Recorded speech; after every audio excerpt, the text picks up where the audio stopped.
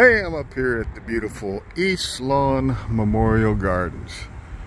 And uh, you can see a lot of people putting uh, decorations out. And over there is our mausoleum. And on the far side over there, uh, it's where you can now have uh, standing monuments instead of a flat marker. But what I'm here for today, I'm here to see the grave and graves of Augustus and Edith Belt. And he was called Gus Belt. And so you're wondering, oh, what, why in the world are we doing this one? Well, if you ever heard of Steak and Shake uh, restaurants, well, Mr. Belt founded Steak and Shake in 1934. His first store was 1219 on Main Street. Uh, that's now Monical's.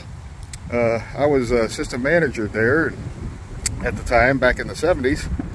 And uh, yeah, we, the creek always overflowed. I lost a, a uh, 1976 uh, Camaro there.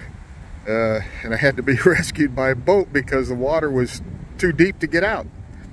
And so, uh, uh, yeah, he died in 1954, so he's been gone 70 years.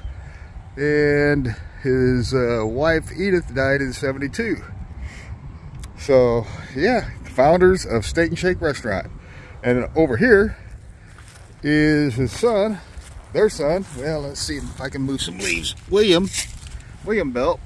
Now, I remember him because he used to come in uh, uh, every now and then uh, to, to, Steak and Shake. And uh, he was, I would say he wasn't quite right in the head. Yeah, he seemed kind of odd. Uh, so, yeah, he died in uh, 1985, born in 1918. So, yes, that's the, the son. All right. You can see how these markers, you know, over the years, these uh, bronze one, I guess they're bronze, you know, they just kind of turn green.